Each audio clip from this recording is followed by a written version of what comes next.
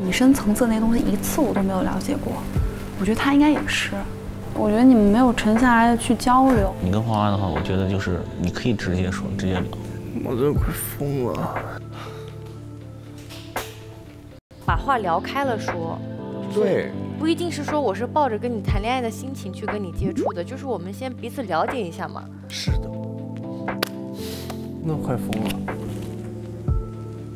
唉，其实我很多话想跟他说，但是你今天没说吗？机会就没有给给我。你觉得他会去别人的约会吗？我不想这个东西。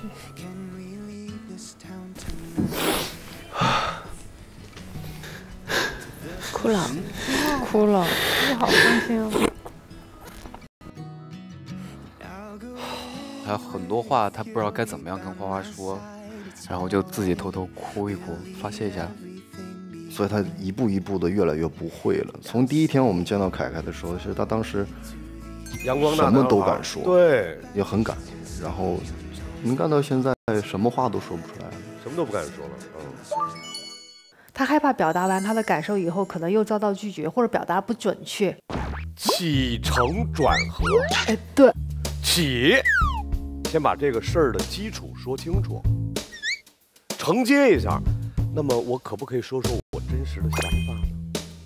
转，大包出来了，我想和你多在一起。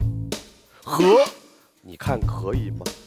这是谈恋爱哈，听着凯说话着急的嘛。而且我觉得其实花花她渴望你能直接说出来，起承转合呀。